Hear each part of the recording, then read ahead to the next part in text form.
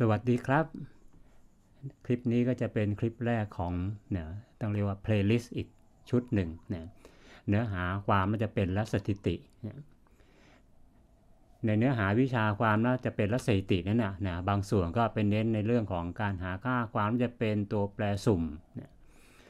การแจกแจงความน่าจะเป็นแบบต่างๆนะบางส่วนของวิชาก็เป็นเน้นการ นำเสนอข้อมูลนะนำข้อมูลตัวอย่างมาอธิบายสภาพประชากรเนี่ยมันชื่อวิชานี้ก็จะถือว่าใหญ่มากนะ ในคลิปนี้นะจะเรียนเนื้อหานะบางส่วนเนี่ยคลิปแรกของ playlist นะ ตัวแปรสุ่มฟังก์ชันความน่าจะเป็นนะถ้าระดับนักเรียนมปลายนะก็เรียนตัวแปรสุ่ม ฟังก์ชันความน่าจะเป็นบางตัว b a n u r y ทวินามนะยูนิฟอร์มนะ ถัดไปนะเรียนสูงขึ้นนะก็จะมองโครงสร้างเป็นฟังก์ชันก่อกำเนิดเนี่ยช่วยในการนับจำนวนวิธีคำว่าฟังก์ชันก่อกำเนิดนั้นนะนะในสาขาวิชา combinatoric ก็มีการนำไปใช้นะในช่วยช่วยในการนับนะนับจำนวนวิธีในวิชาความน่าจะเป็นและสถิตินะคำว่าฟังก์ชันก่อกำเนิดก็มีประโยชน์ใช้งานเหมือนกันนะแต่ถ้าตรงที่สุดก็ฟังก์ชันก่อกำเนิดความน่าจะเป็น นะก็เป็นเนื้อหาที่เกี่ยวโยงกันนะแล้วก็เนื้อหาที่สูงขึ้นไปก็ฟังก์ชันก่อกำเนิดโมเมนต์นะก็มาดูกันนะว่าตัวแปรสุ่มนะเนื้อหาระดับม .6 นะฟังก์ชันความน่าจะเป็นเนื้อหาระดับม .6 นะเพิ่มอีกนิดนึงนะมองเป็นฟังก์ชันก่อกำเนิดนะเพราะในคลิปนี้นะเป็นคลิปแรกใน playlist นี้ก็จะเป็นนะเนื้อหาวิชาที่ชี้เห็นความเกี่ยวข้องกัน นะพื้นความรู้นะก็พยายามพูดตั้งแต่ใช้ความรู้ระดับนักเรียนม.ต้น จัดรูปพีชคณิตเป็นนะจนกระทั่งสูงขึ้นนะคำว่าฟังก์ชันก่อกำเนิดโมเมนต์นั่นนะนะเรียนในการในระดับปริญญาตรีนะอะมาดูเนื้อหาจากง่ายไปยากกันนะในคลิปนี้ก็จะแนะนำนะเนื้อหาจากง่ายไปยากคำต่างๆที่จะพบนะ คลิปแรก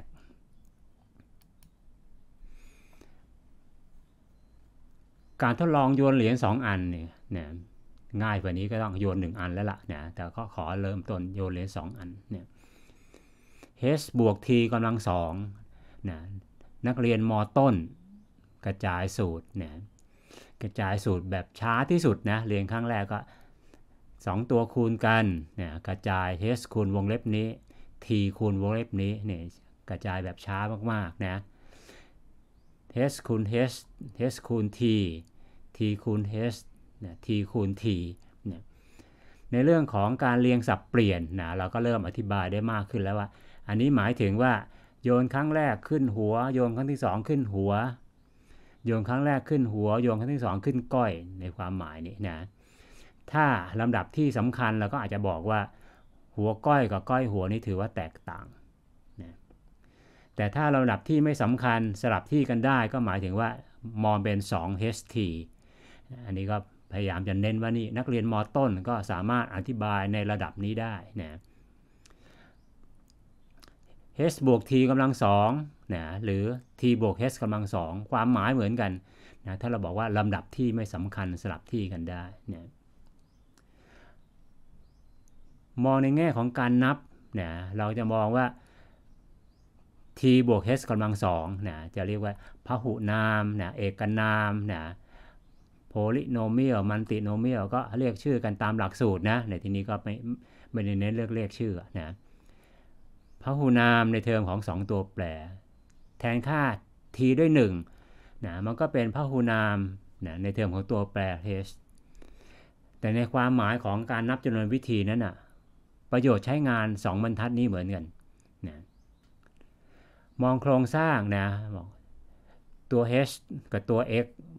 ตัวเดียวกันแหละเป็นตัวแปร เดิมมันความหมายเป็นการขึ้นหัว แต่ถ้ามองเป็นตัวแปร h ตัวแปร x มันก็เป็นพหุนามชนิดหนึ่ง เพราะฉะนั้น gx ในที่นี้เนี่ยมองเป็น1บวก 2x บวก x กำลัง2นะแต่ความหมายนั้นนะนะมีความหมายแล้วนะสัมประสิทธิ์ของ x กำลังศูนย์หมายถึงนะจำนวนครั้งที่โยนเหรียญ2อันแล้ว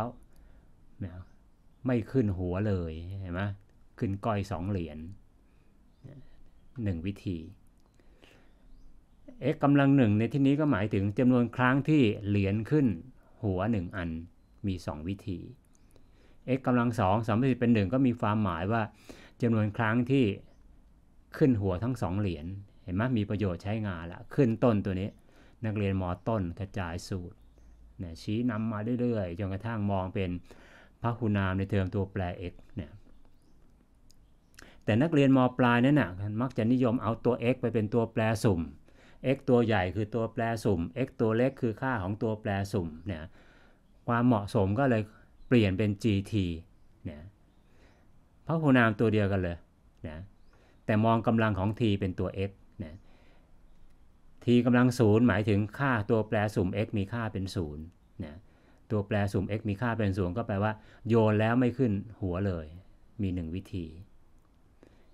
x เป็น 1 ก็หมายถึงว่าตัวแปรสุ่ม x มีค่าเป็น1นะตัวแปรสุ่ม x มีค่าเป็น 1 มีได้ 2 วิธีคือหัวก้อยหรือก้อยหัว ถ้าเรากำหนดว่า x คือจำนวนหัวที่ขึ้น เห็นไหมการทดลองโยนเหรียญ2อันนะกระจายแบบนักเรียนมต้น กระจายไปแล้วนะมอนแบบนักเรียนม 6 กำลังเรียนเรื่องตัวแปรสุ่ม x คือจำนวนหัวที่ได้ในการโยนเหรียญ2 อันนะพอมองเป็น1บวก t กำลัง2นะสัมประสิทธิ์ของ t กำลัง0คือ x เป็น 0 มี 1 วิธีสัมประสิทธิ์ของ t กำลัง 1 x เป็น 1 มีได้ 2 วิธี x เป็น 2 มีได้ 1 วิธี เห็นไหมขึ้นต้นมาจากการกระจายพหูนามนะเปลี่ยนตัวแปรมาเป็น1บวก t กำลัง2 มีประโยชน์ใช้งานแหละตัวแปรสุ่มและฟังก์ชันความน่าจะเป็นนะการทดลองโยนเหรียญ2 อันนะพร้อมกันนะแล้วจำแนกให้ได้ว่าเป็นเหรียญที่ 1 หรือเหรียญที่2นะหรือมีเหรียญอันเดียว โยน 2 ครั้ง โยนครั้งที่ 1 โยนครั้งที่ 2 ลักษณะการทดลองแบบนี้นะเหมือนกันนะเพราะว่าโยนเสร็จแล้วเราสนใจจำนวนหัวที่ขึ้นนะ x คือจำนวนหัวที่ได้ ตัวแปรสุ่ม x มีค่าเป็น 0 มีค่าเป็น 1 มีค่าเป็น2นะตรงนี้ก็ขอพูดเร็วนิดนึงนะ นักเรียนม .6 เห็นสูตรอย่างนี้ก็คือ ฟังก์ชันการแจกแจงความจะเป็นของตัวแปรสุ่มทวินามนะตำราบางเล่มเขาจะแยกกันว่า prop mass function probability mass function นะใช้กับตัวแปรสุ่มไม่ต่อเนื่อง probability density function นะฟังก์ชัน ช่วยในการหาค่าความมันจะเป็นใช้สำหรับตัวแปรสุ่มต่อเนื่องนะนะหน้าแรก ๆ ของหนังสือแยกชื่อกันไปสักพักเรียกชื่อเดียวกันนะฟังก์ชันความน่าจะเป็นเนี่ยก็ขอเรียกตัวนี้นะ ฟังก์ชันความน่าจะเป็นเนี่ยทดลองโยนเหรียญ2 อัน x คือจำนวนหัวที่ได้นะ x มีค่าเป็น 0 1 2 ฟังก์ชันความจะเป็นคือนะ ถ้าเรียนละเอียดอีกขั้นหนึ่งก็ตัวแปรสุ่ม x มีชื่อเรียกว่าอะไร มีชื่อเรียกว่าตัวแปรสุ่มทวินาม แต่ในคลิปนี้ก็ยังไม่ไปรายละเอียดถึงตัวแปรสุ่มต่างๆนะเอาแค่แนะนำให้รู้จักนะนะนี่ตัวแปรสุ่มนี่ฟังก์ชันความมันจะเป็นนะ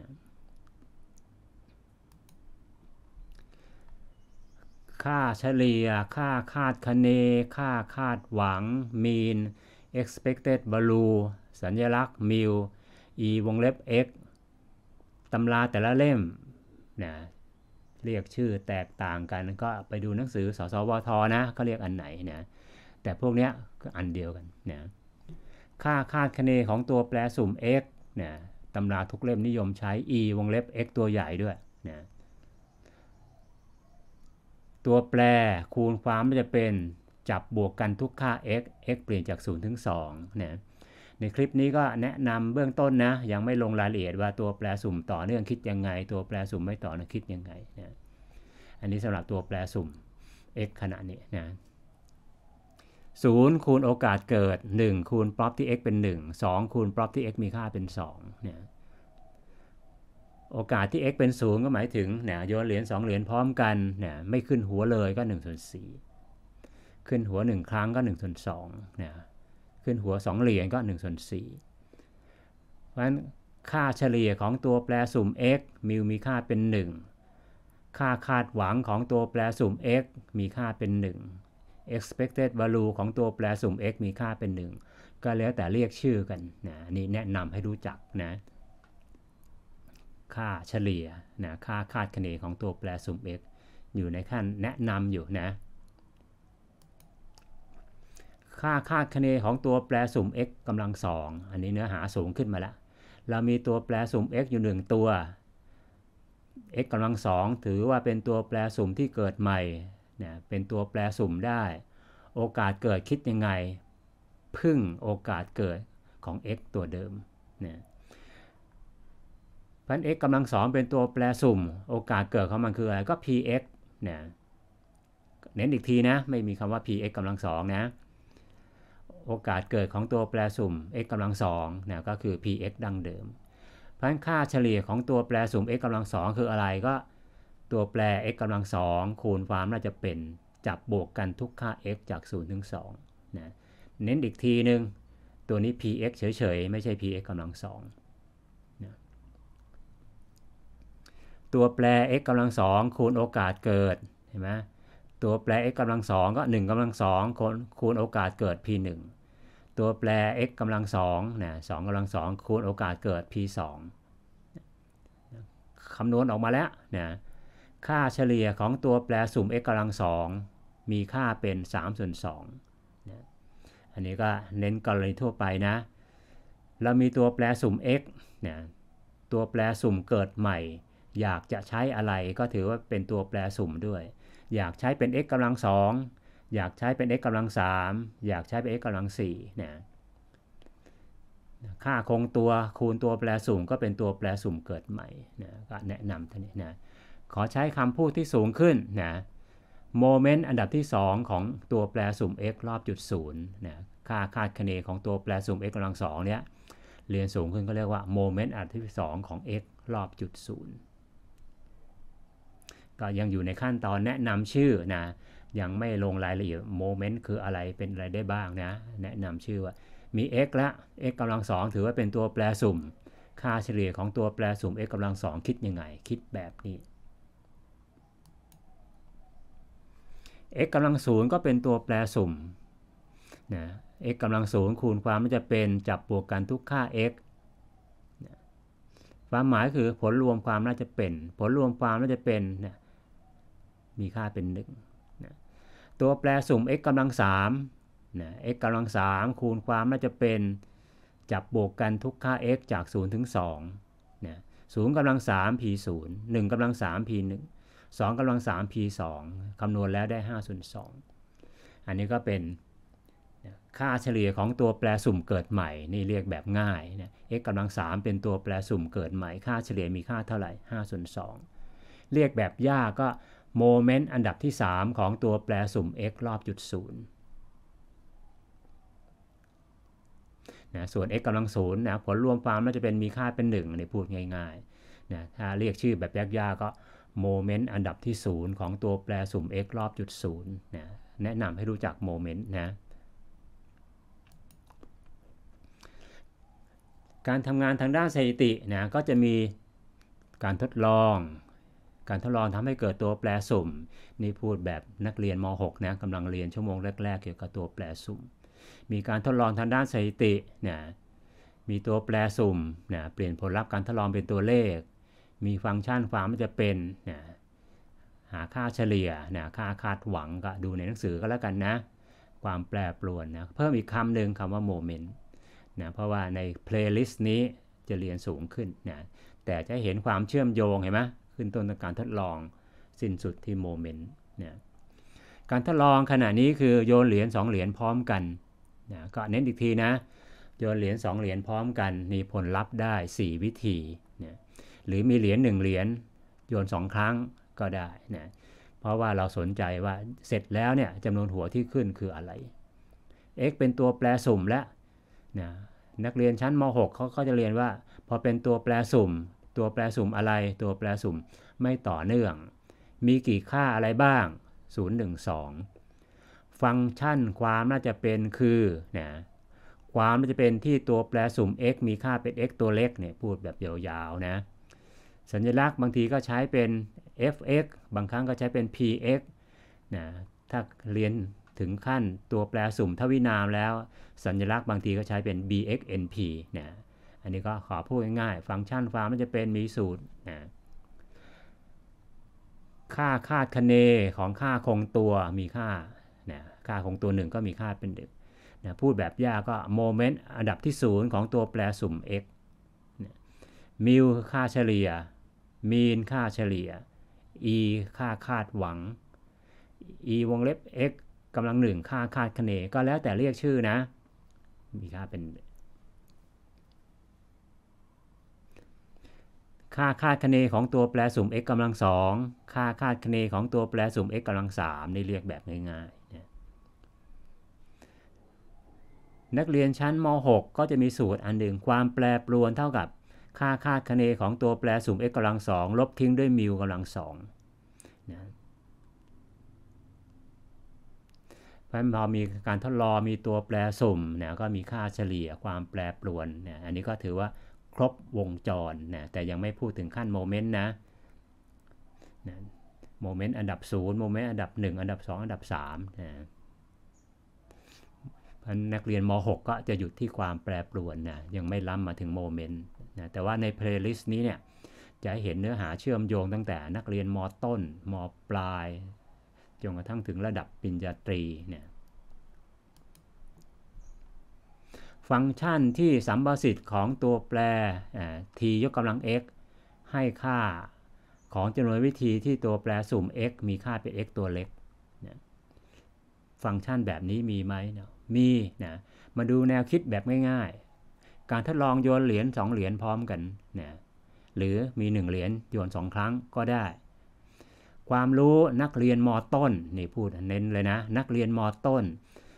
การกระจายสูตรนี้เนี่ยนะมองดูแล้วเหมือนกับการกระจายสูตรธรรมดา 2 วงเล็บคูณกันเนะกระจายเป็น h คูณวงเล็บนี้ t คูณวงเล็บนี้ การกระจายแบบนี้แฝงความหมายว่าลำดับที่สำคัญนะครั้งแรกขึ้นหัว ครั้งที่ 2 ขึ้นหัว ครั้งแรกขึ้นหัว ครั้งที่ 2 ขึ้นก้อย ครั้งแรกขึ้นก้อย ครั้งที่ 2 ขึ้นหัวนะสองอันนี้ถือว่าต่างกันเลยแยกอยู่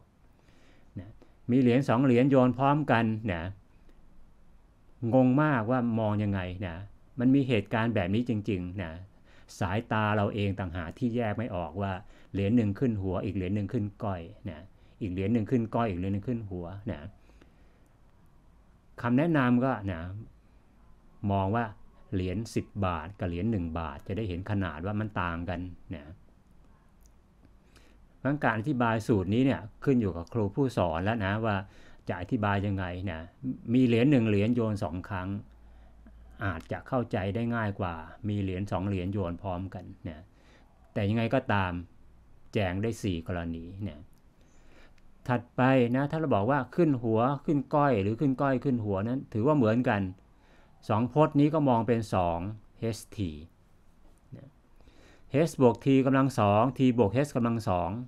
อันเดียวกันแหละนะเปลี่ยน t เป็น 1 ก็มองเป็นพหุนามในเทอมของตัวแปร h นะแต่คำอธิบายยังใช้ได้เหมือนเดิมนะโยนแล้วไม่ขึ้นหัวเลยมี 1 วิธี โยนแล้วขึ้นหัวหนึ่งครั้งมี 2 วิธี โยนแล้วขึ้นหัว 2 เหรียญมี 1 วิธีนะจะใช้บรรทัดนี้อธิบาย จะใช้บรรทัดนี้อธิบาย หรือบรรทัดแรกสุดอธิบายได้เหมือนกัน ในทางคณิตศาสตร์เขาก็เลยมองว่ามองเป็น gt ก็แล้วกันนะเปลี่ยน h เป็น t นะแล้วก็จะเห็นว่ากำลังของตัว t นั้นนะ่ะมันจะสอดคล้องกับวิธีที่เกิดนะสัมประสิทธิ์ของ t กำลังศูนย์ตรงกับจำนวนที่นะผลการทดลองขึ้นหัวศูนย์เหรียญ1วิธี สัมประสิทธิ์ของทีกำลังหนึ่งเนี่ยเป็น 2 ก็หมายถึงว่าโยนแล้วขึ้นหัว1เหรียญมี 2 วิธี พระหูนามตัวนี้เนี่ยนะอธิบายจำนวนวิธีได้ สัมประสิทธิ์ของ t กำลัง x ตอนนี้เลือกกำลังเป็นตัวแปร x เพื่อให้สอดคล้องกับสัญลักษณ์ที่เราบอกตัวแปรสุ่ม x คือจำนวนครั้งที่ขึ้นหัวนะเพราะกำลังของตัวแปร t เนี่ยบางคนก็นิยม t กำลัง n t กำลัง k นะแต่ขณะนี้นะขอใช้เป็น t กำลัง x เพื่อจะได้สอดคล้องกับ จำนวนวิธีที่ขึ้นหัว x ครั้งนะฟังก์ชันนี้เขาเรียกกันว่าฟังก์ชันก่อกำเนิดเนี่ยเรียกชื่อยาวๆก็ฟังก์ชันก่อกำเนิดจำนวนวิธี เรียกชื่อยาวกว่านี้อีกก็ฟังก์ชันที่สัมประสิทธิ์ของ t กำลัง x คือจำนวนวิธีที่ตัวแปรสุ่ม x ตัวใหญ่มีค่าเป็น x ตัวเล็ก อันนี้ก็แนะนำให้รู้จักคำว่าฟังก์ชันก่อกำเนิดแล้วนะ ต่อไปมาดูว่านะฟังก์ชันที่สัมประสิทธิ์ของ t กำลัง x ให้ค่าความน่าจะเป็นที่ตัวแปรสุ่ม x มีค่าเป็น x ตัวเล็กมีไหมเนี่ยหน้าเนี้ยตอบเลยมีนะมาดูแนวคิด การทดลองโยนเหรียญ2เหรียญพร้อมกันนะสนใจจำนวนหัวที่ได้ หรือมีเหรียญ1เหรียญโยน 2 ครั้ง ใช้ความรู้นักเรียนมต้นนะพูดเน้นนักเรียนมต้นเลยกระจายสูตรตัวนี้นะ บรรทัดนี้เนี่ยแฝงความหมายว่าแจงนับนะกระจายสูตรก็ h คูณวงเล็บนี้ t คูณวงเล็บนี้ แจงนับเหตุการณ์ที่เป็นไปได้ ครั้งแรกขึ้นหัว ครั้งที่ 2 ขึ้นหัว ครั้งแรกขึ้นหัว ครั้งที่ 2 ขึ้นก้อย นี่คือความหมายแฝงว่าแจงนับเนี่ยแต่พอเราสนใจจำนวนหัวที่ได้ แล้วก็แทนค่า t เป็น1นะพหูนามนี้ก็แฝงความหมายว่าสัมประสิทธิ์ของ h กำลังสองคือ โยนแล้วขึ้นหัว 2 เหรียญมี 1 วิธี สัมประสิทธิ์ของ h กำลังหนึ่งก็หมายถึงว่าโยนแล้วนะขึ้นหัว 1 เหรียญมี 2 วิธีนะแต่เขาก็นิยมเปลี่ยนตัวแปรเป็นตัว t นะ gt พหูนามตัวนี้แฝงความหมายนะสัมประสิทธิ์ของ t กำลังสองก็คือจำนวนครั้งที่โยนเหรียญ2เหรียญแล้วขึ้นหัวทั้ง 2 เหรียญนักเรียนม .6 ตัวแปรสุ่ม x คือจำนวน หัวที่ได้ ตัวแปรสุ่ม x มีกี่ค่าอะไรบ้าง 0 1 2นะตัวแปรสุ่ม x เป็นตัวแปรสุ่มต่อไม่ต่อเนื่อง ตัวแปรสุ่ม x มีชื่อเรียกว่าตัวแปรสุ่มทวินามนะถ้าเรียนแบบนักเรียนม .6 ฟังก์ชันความน่าจะเป็นคืออะไรนะ2 factorial หาได้ x factorial นะ2ลบ x factorial แล้วก็1ส่วน2กำลัง2 ในคลิปนี้ก็ยังไม่อธิบายละเอียดเกี่ยวกับตัวแปรสุ่มทวินามนะนะนำเบื้องต้นกันสังเกตฟังก์ชันนี้นะ pgt 1ส่วน2บวก t ส่วน2ทั้งหมดกำลัง2 1ส่วน4คูณ t กำลัง0นะโยนแล้วไม่ขึ้นหัวเลยโอกาส1ใน4 2ส่วน4 t กำลัง1โยนเหรียญ2เหรียญแล้วขึ้นหัว 1 เหรียญโอกาสเกิด 2 ใน4 1ส่วน4คูณ t กำลัง2นะโยนแล้วขึ้นหัวทั้ง2เหรียญ1ใน4นะอันนี้ไม่ใช่บังเอิญถูกต้องนะ มันต้องถูกต้องแล้วก็พิสูจน์ได้ทางทฤษฎีเนี่ยมาดูเหตุผลกันเนี่ย gt คือฟังก์ชันที่สัมประสิทธิ์เป็นจำนวนวิธี 4 คือจำนวนวิธีทั้งหมด ก็แปลว่า 1 หารด้วย4คือความที่จะเป็นที่ตัวแปรสุ่ม x มีค่าเป็น2เนี่ยแล้วก็ตัวนี้ ก็คือ pgt อันนี้พอดีเนี่ยในคลิปถัดๆไปนะก็จะเรียนละเอียดกันว่า pgt ของการทดลองอื่นๆหายังไงเนี่ย g1 มีค่าเป็น 4 ก็คือจำนวนวิธีทั้งหมดเนี่ย pgt ได้มาจากไหนนะสำหรับการทดลองที่เรารู้จำนวนวิธีทั้งหมดนะพอหารด้วยจำนวนวิธีทั้งหมด ก็จะได้ฟังก์ชัน pgt นะ gt หารด้วย 4 ได้ pgt พันในหน้านี้ก็บอกว่ามีฟังก์ชันที่บอกว่าสามประสิทธิ์ของ t กำลัง x ให้ค่าความน่าจะเป็นที่ตัวแปรสุ่ม x มีค่าเป็น x ตัวเล็กนะ t กำลังศูนย์สามประสิทธิ์เป็น1ส่วน4เห็นไหม t กำลัง1สามประสิทธิ์เป็น1ส่วน2 t กำลัง2สามประสิทธิ์เป็น1ส่วน4ฟังก์ชันลักษณะนี้นะคลิปนี้แนะนำชื่อนะ ฟังก์ชันก่อกำเนิดความน่าจะเป็นนะ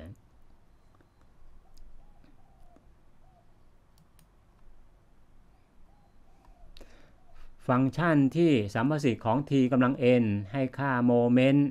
นะนี่เรียกชื่อยากนิดนึงนะ e x กำลังหนึ่งก็ค่าเฉลี่ยนะ e x กำลังศูนย์ก็หนึ่งแหละนะ อันนี้เรียกใช้ชื่อยากนิดหนึ่งนะ มีฟังก์ชันแบบนี้หรือไม่นะการทดลองโยนเหรียญ2เหรียญ x เป็นตัวแปรสุ่มจำนวนหัวที่ได้ x มีกี่ค่าอะไรบ้าง ฟังก์ชันความน่าจะเป็นเนี่ย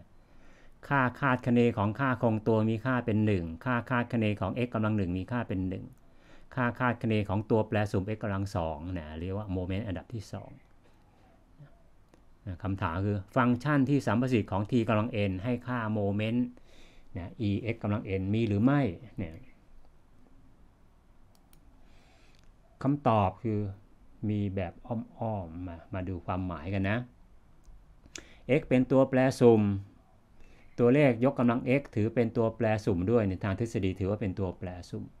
ค่าคงตัวคูณตัวแปรสุ่ม ถือว่าเป็นตัวแปรสุ่มเกิดใหม่ แม้แต่ e ยกกำลัง t คูณ x ก็ถือว่าเป็นตัวแปรสุ่มเกิดใหม่เนี่ยพอเป็นตัวแปรสุ่มเกิดใหม่เนี่ยค่าคาดคะเนของตัวแปรสุ่มเกิดใหม่คิดยังไงเนี่ยค่าคาดคะเนของตัวแปรสุ่มอันนี้กระจายสู่เข้ามาได้นะ ฟังก์ชันนี้เนะ n factorial ถือเป็นค่าคงตัวดึงออกมาข้างนอก ฟังก์ชันนี้เนะ t กำลัง n ถือเป็นค่าคงตัวเมื่อเทียบกับตัวแปร x ดึงมาข้างนอกพันค่าคาดคะเนของตัวแปรสุ่ม e กำลัง tx เห็นไหมโครงสร้างสูตร ค่าคาดคะเนของตัวแปรสุ่ม x กำลัง n เป็นสัมประสิทธิ์ของ t กำลัง n ส่วน n factorial เนี่ยพันคำว่ามีแบบอ้อมๆก็คือมี พหูนามที่มองเห็นโมเมนต์อันดับต่างๆเนี่ยฟังก์ชันแบบนี้นะเรียนสูงขึ้นไปเขาเรียกว่าฟังก์ชันเนี่ยโมเมนต์ generating function ฟังก์ชันช่วยในการหาโมเมนต์อันดับต่างๆ ของตัวแปรสุ่ม x นะในคลิปนี้ก็แนะนำชื่อให้รู้จักกันนะ และคลิปถัดไปของตัวแปรสุ่มแต่ละชื่อ ทวินาม ยูนิฟอร์ม ปัวซง เราก็หากันว่าโมเมนต์ นะ moment generating function ของตัวแปรสุ่มแต่ละตัวคืออะไรมีสูตรอย่างไร และหาค่าได้อย่างไรนะในคลิปนี้แนะนำชื่อกัน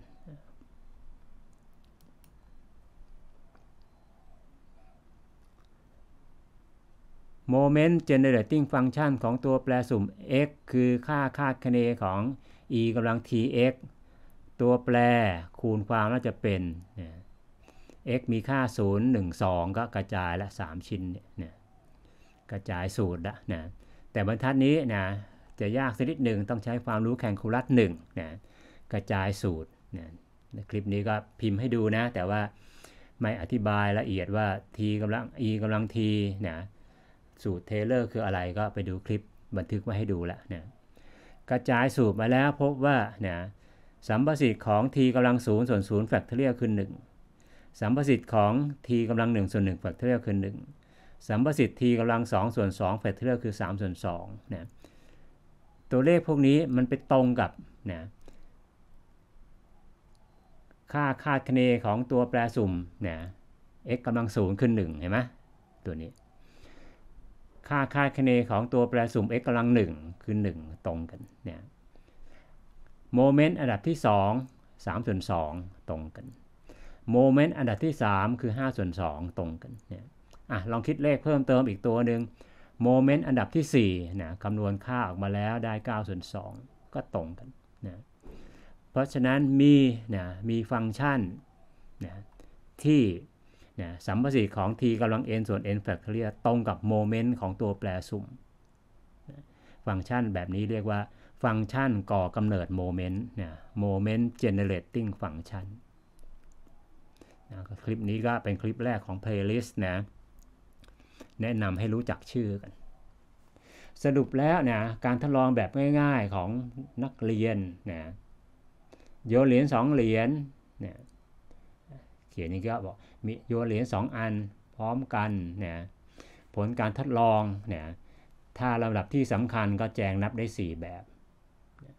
ถ้าลำดับที่ไม่สำคัญก็อาจจะมองเป็น 2 th เนี่ย t กำลัง2บวก 2 th บวก h กำลัง 2 ก็ได้ นักเรียนม .6 เรียนเกี่ยวกับตัวแปรสุ่ม ตัวแปรสุ่ม x จำนวนหัวที่ได้มีกี่ค่าอะไรบ้าง 0 1 2 นักเรียนม .6 เรียนเกี่ยวกับฟังก์ชัน การแจกแจงความน่าจะเป็นเรียกชื่อยาวๆนะฟังก์ชันการแจกแจงความน่าจะเป็น หรือฟังก์ชันความน่าจะเป็น นักเรียนม .6 สามารถระบุชื่อได้ว่าตัวแปรสุ่ม x นี้มีชื่อว่าตัวแปรสุ่มทวินามสามบรรทัดแรกนะบรรทัดแรกพูดแบบมอต้น แจงนับสองบรรทัดถัดไปพูดแบบนักเรียนม .6 ตัวแปรสุ่มฟังก์ชันความน่าจะเป็นบรรทัดถัดไปฟังก์ชันก่อกำเนิด ฟังก์ชันช่วยในการนับจำนวนวิธีนะในวิชา combinatoric ตัวนี้ก็ แยกเนื้อหาได้ 1 บทเรียนเลยนะ ฟังก์ชันก่อกำเนิดของการนับเนี่ยนะแต่ตอนนี้มาอยู่ในวิชาความน่าจะเป็นและสถิติก็มองเป็นนะฟังก์ชันก่อกำเนิดนะฟังก์ชันช่วยในการนับจำนวนวิธี PGT เนี่ยฟังก์ชันที่สัมประสิทธิ์ของ t กำลัง x คือความน่าจะเป็นที่ตัวแปรสุ่ม x มีค่าเป็น x PGF Plot Generating Function ถัดไป Moment Generating Function เนี่ยฟังก์ชันที่สัมประสิทธิ์ของ t กำลัง k ส่วน k factorial คือ moment อันดับที่ k ของตัวแปรสุ่ม x เนี่ยสำหรับการทดลองโยนเหรียญ2อันนะ moment generating function ก็คือตัวนี้1ส่วน2บวก1ส่วน2 e กำลัง t ทั้งหมดยกกำลัง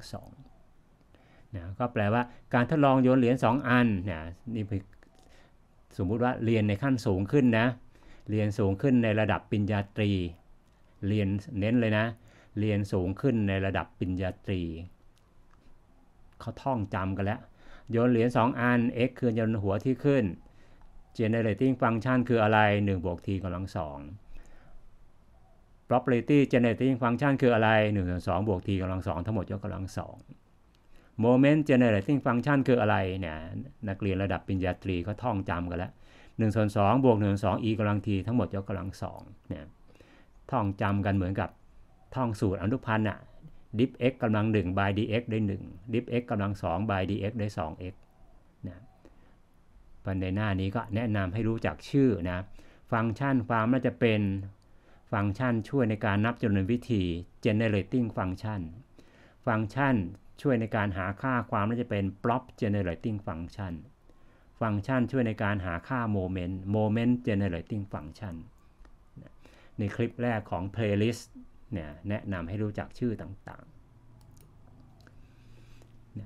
สามหน้าที่เหลือนะส่วนที่เหลือก็เครื่องคิดเลขนะโปรแกรม Maxima เป็นโปรแกรมฟรีนะนักเรียนมต้นกระจายสูตรนะหัวก้อยโยนเหรียญกระจาย 1บวก x กำลัง3 1ส่วน2บวก x ส่วน 2 ทั้งหมดยกกำลัง 3 อันนี้ก็สามารถอธิบายเหตุการณ์โยนเหรียญ3เหรียญได้ ส่วนตัวนี้นะกระจายสูตรก่อนต้องจัดรูปเพิ่มเติม ถึงจะเห็นค่าโมเมนต์นะ เพราะอันนี้มันยังไม่เห็นเป็น3 factorial อันนี้ก็ต้องจัดรูปนิดหนึ่งให้เป็นเป็น4 factorial เครื่องคิดเลขปัจจุบันสามารถช่วยคำนวณฟังก์ชันต่างๆ ในทางคณิตศาสตร์ได้นะ เน้นเอาโปรแกรมฟรีนะ โปรแกรมไม่ฟรีทำได้เยอะแยะมีหลายตัวนะ Maxima ทำได้ GeoGebra ทำได้เห็นไหมกระจายสูตรกระจายสูตรนะสามอันแรกเห็นชัดเจนตรงไปตรงมา แต่ตัวนี้ยังเห็นโมเมนต์ไม่ชัดต้องจัดรูปเพิ่มเติมวุนแฟมอัลฟาก็ฟรีอีกนะอยู่บนเว็บไปลองพิมพ์ดูนะแต่ใช้ไม่ค่อยถนัดนะ ใช้ Maxima หรือ GeoGebra จะทำงานได้ถนัดกว่า เพราะว่า Wolfram Alpha เนี่ยพิมพ์ตัวนี้พอจะพิมพ์ใหม่ตัวนี้หายไปแล้วนะก็แนะนำให้รู้จักนะอะหน้าสุดท้ายก็มาดูว่า ในเพลย์ลิสต์นี้นะจะพูดในระดับนักเรียนมต้นนะพอเข้าใจได้ง่ายม 6 ต้องรู้เรื่องแน่นอน เน้นเลยนะ ม 6 ต้องรู้เรื่องแน่นอน binary binomial พอปัวซองม 6 เริ่มไม่รู้ละแต่ระดับปริญญาตรีนะติดตามได้เลยนะฟังก์ชันความน่าจะเป็นฟังก์ชันก่อกำเนิด ฟังก์ชันก่อกำเนิดความน่าจะเป็นฟังก์ชันก่อกำเนิดโมเมนต์นักเรียนสาขาสถิติ ติดตามเพลย์ลิสต์นี้ได้เลย นักเรียนม .6 ดูก็แล้วกันว่าพื้นความรู้ที่สำคัญ ที่จะถูกนำไปใช้ในขั้นสูงขึ้นคืออะไรนะโปรดติดตามตอนต่อไป สวัสดีครับ